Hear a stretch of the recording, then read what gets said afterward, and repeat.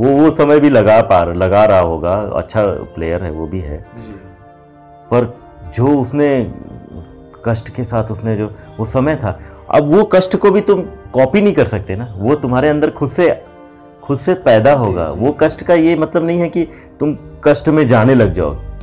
ये नहीं है मतलब कि किसी ने पूछ जब रामकृष्ण परमहंस ने के पास विवेकानंद गए तो जाके उन्होंने रात में उनको सोते से जगा दिया। तो देखा कि दूसरे शागिर्द ने देखा अरे सोते से जगा दिया। एक और शागिर्द आ गया और उनको सोते से जगा के प्रश्न करने लगा। प्रश्न पूछने की वो तो उत्कंठा उत्कंठा नहीं नहीं वो विवेकानंद के अंदर थी। हाँ, और उसने क्या देखा कि उस जगाने से शायद आ जाता है। विवेकानंद तो बनो पहले प्रश्न पूछने के पहले। कि कॉपी ना करने लग जाओ कि हाँ, अच्छा वो नंगे पैर रहते तो हम भी नंगे पैर रहेंगे वो नहीं।